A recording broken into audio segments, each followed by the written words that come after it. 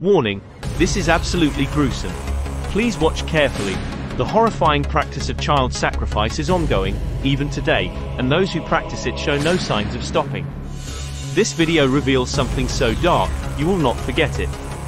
The innocence of the child makes this horrific tragedy one that we can't understand. In 2003, the lives of Madan and Murti Samaru, a couple from Uttar Pradesh, India, took an unbelievable turn when desperation led them to a tantric guru in the desire for a son to carry on their family name and care for them in old age. Unable to conceive a son naturally, the couple sought the guidance of a tantric guru, whose shocking advice compelled them to kidnap their six-year-old neighbor, Monu Kumar. The tantric guided them in a gruesome ritual, leading to the boy's mutilation and bloody death near an irrigation canal. When he was dead, Samaru washed himself in the child's blood, while a priest chanted over him.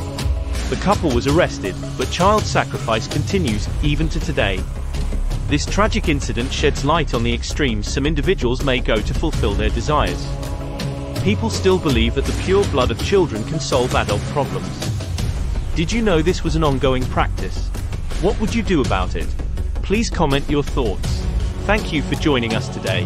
If you found this story compelling, please consider subscribing for more thought-provoking content coming in the next few days.